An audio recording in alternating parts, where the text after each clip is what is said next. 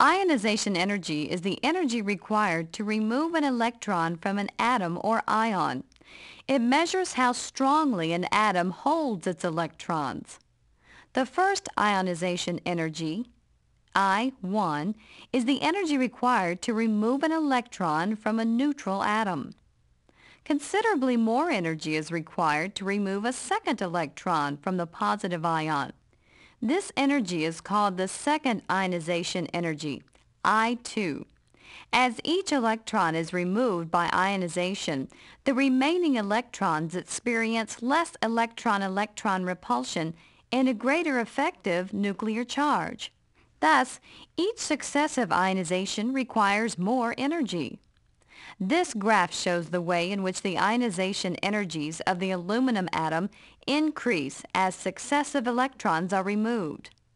Notice that the ionization energy increases with each successive removal of an electron. However, there is an especially large jump in the energy required for removal of the fourth electron. From a knowledge of the electron configuration of neutral aluminum, can you account for this dramatic jump?